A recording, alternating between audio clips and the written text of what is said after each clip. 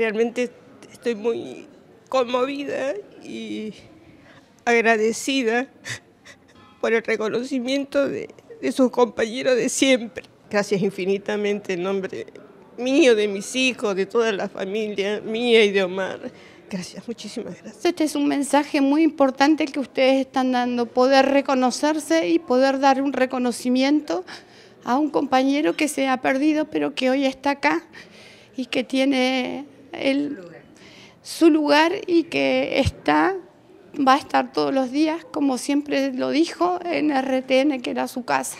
Y la verdad que cada vez que nos juntamos él no hablaba de otra cosa, la verdad que es algo que parece eh, más que justo, pues este es un lugar que, y una tarea que a él le apasionaba, eh, que realmente la sentía así, no hablaba de, otra cosa, de todas las funciones que había cumplido acá adentro. Eh, y bueno, y creo que eso se, ha transmitido, porque la verdad es justo que hoy, que hoy tenga este, este lugar su nombre, y que bueno, y se, lo ve por, por el afecto que ha recibido todo este tiempo por parte de todos ustedes.